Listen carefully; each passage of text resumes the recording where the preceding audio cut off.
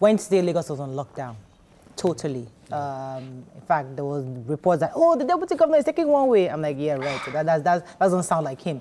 But the truth is, we keep having these tankers falling down. Mm. We keep having this gridlock in this Lagos state. Mm. can we preempt some of these things and find a way to manage it better such that that morning, Lagosians would have been aware that this has happened though. Mm. Plan your morning somehow. We expect that, get me, you're building a mega city. Some kind of information should have gone around to us, don't you think? Well, so so first of all, I didn't take one way. I don't know where that came from. I've never, you know, never. Why would I take one way for what? I was coming on third mainland, so I couldn't have right. taken a one way right. anyway. So I don't know where that came from. So we know that there are about 18 locations in Lagos. When there is a gridlock there, the whole city will lock up. Exactly. We know that. Now, the challenge is this.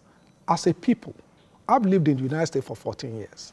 Every time when there's going to be summer, you must change certain things in your vehicles. It's not, it, it, so these things are a process. If the process doesn't flow, there will be trouble. So, part of the challenge is that we have vehicles, all these articulated vehicles, that are 40, 50 year old. Hmm. The question is, should they be on the road? No. At the same time. So, that's the question. Should they be on the road? Hmm. So, remember, when VIO takes over a vehicle and check it, people say, oh, they are taking Uber. Are, it's not. So, as a people, we must also be ready to say, let us follow a process to make life easier for all of us. Because you've said, you know, it's a process. That's why I'll bring this question. We know the tankers are in Lagos because of capitalism. Starting from the Apapa all the way through Kirikiri, along the lagoon, all the way to almost Badagry now, you have tank farms springing up every day. And it seems like the government just wants to turn a deaf and blind, deaf ear, blind eye to the issues of the people living around who are clamoring that this cannot continue. Mm. Added to that are bonded terminals. So we are bringing articulated vehicles into Lagos, whether by choice or by choice. Mm. We want them because this is a capital city and capitalism is just thriving. Why is Lagos State reluctant to regulate at least? Because if you cannot stop, there must be sincere regulation of the activities of these people. Enforcement and, and strong enforcement mm. of this. Thank you very much. You see, so, you know, we've all been talking about restructuring our country. Lagos State don't give permit if you want to build a tank farm. DPR does. We've gone to court. We've gone to Supreme Court on this issue during Asiwaju and during BRF. The Supreme Court said, no, that's the constitutional thing. So what are we supposed to do? Mm. So the reality is somebody can stay in Abuja and give a permit, mm. and Lagos State has no control. There's nothing we can do. So one of the things we've done is, okay, in building this, your tank farm, in building this tank farm, these are the things you must do. So that, if, God forbid, if there is accident, you don't kill So that's the issue of, of enforcement now. So, but that is Those on your side. Mm -hmm. Now, in terms of the trucks, remember, Atlas Cove came through Lagos. Yes. The reality is, those in Ijegun, for example, the, all the tank farms represent about 60% of the fuel that the whole country uses. We agree.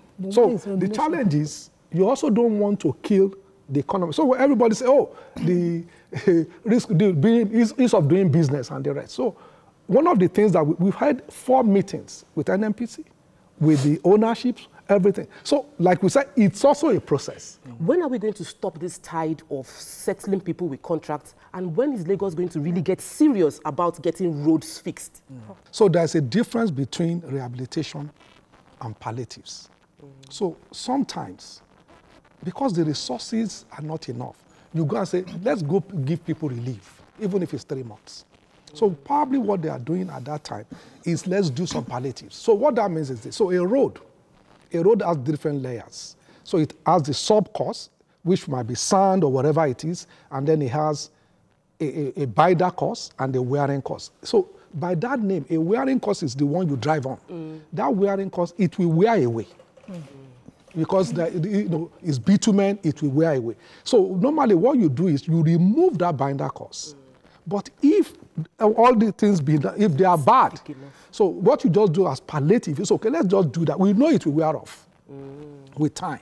So sometimes you just go in there to say, let's just do palliative, give people relief for six months, whatever, what? until you have enough resources to actually do it. In addition to what she just asked, why doing the palliatives if you can, you know, save up the money, if it's funds that's the problem, and do a major road so we don't have this issue of reoccur- you have to keep redoing the roads. And secondly, who is in charge of quality control?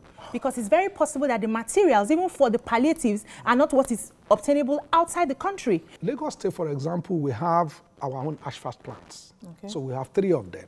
We have in Ojodu here, we have in Badagry, and we have in Imota.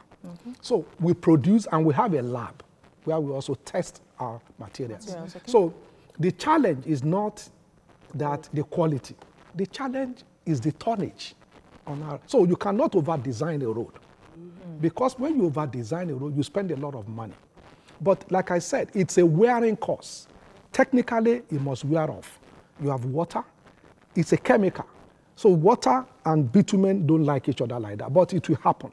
So ultimately, it will dissolve and move away. Now, the challenge is this to actually remove and maintain them is expensive. Hmm. So, what, what you will notice that the BRT lane are actually concrete.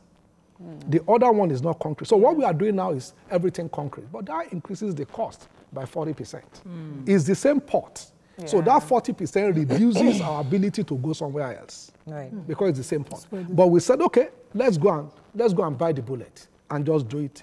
On, but the reality is, it will break again. Maybe five years, maybe six years. Somebody will have to come back Okay. and do it. All right.